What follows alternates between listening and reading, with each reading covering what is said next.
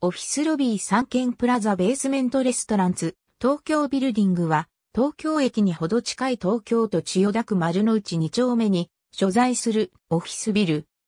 旧東京中央郵便局南側に位置するオフィスビルで2003年から2005年に当ビルをオフィス中心、日比谷パークビルをホテルとして建て替える一連の再開発計画により地上33階、地下4階、延べ床面積は約15万平方メートルの規模の高層ビルとなった。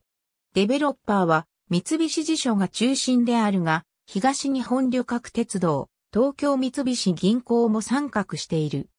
これは日本で初めて特例容積率適用区域制度が適用され、JR 東京駅丸の内駅舎の未利用容積率の移転を受けたことと、隣接する東京三菱銀行本店の敷地も同一区画として認定を受けたためである。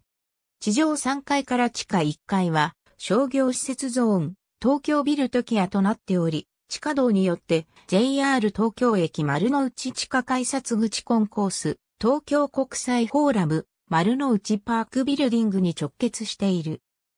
旧ビルである東京ビルジングは旧東京市との交換で三菱財閥が所有していたものを大倉土木に譲渡していた土地であったが、丸の内オフィス街の一元開発と戦後の企業分割で少なくなった賃貸物件を確保したかった三菱地所と戦後経済による不況で受注建築物件を増やしたかった大成建設との間で交渉がまとまり、三菱が土地を買い戻し、大成建設他の施行で建設に至った。旧ビルにはかつて日本航空や博報堂、窒素、東海東京証券、三菱地所の本社があった。などビル内では、ドコモ Wi-Fi やフレッツスポットといった公衆無線 LAN が利用可能となっている。地上3階から地下1階は複合型商業施設、東京ビルトキアとなっており、三菱地所、ビルマネジメントが管理している。